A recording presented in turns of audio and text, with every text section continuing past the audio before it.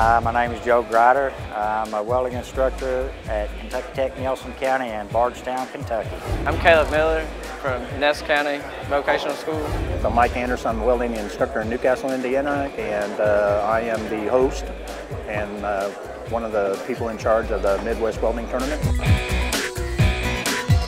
This is, in our opinion, like the Super Bowl of welding competitions. Uh, it motivates these students, gives them something to strive for. Uh, there's uh, people down here, there's employers, this always shows up.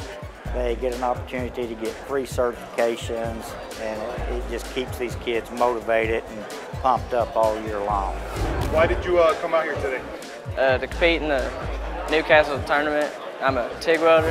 Uh, we bring in students from uh, three states, Indiana, Kentucky, and Illinois, uh, for a two-day welding competition.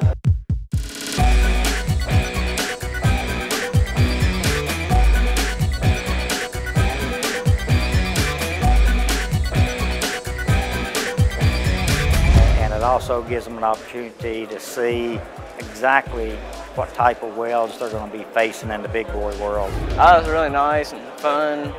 It was a great experience. When we go back to the classroom, we'll look at our overall scores, we'll look at our strengths, we'll look at our weaknesses, and we will work on our weakness and hopefully make those a little bit stronger.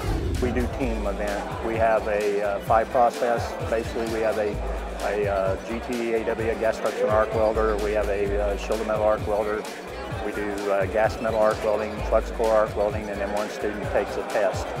So they are they individually work for trophies, uh, but they also work to, to get team trophies. Uh, Everyone likes competition, and they know the better they do in these competitions, the more likely they are to land a good paying job when they graduate.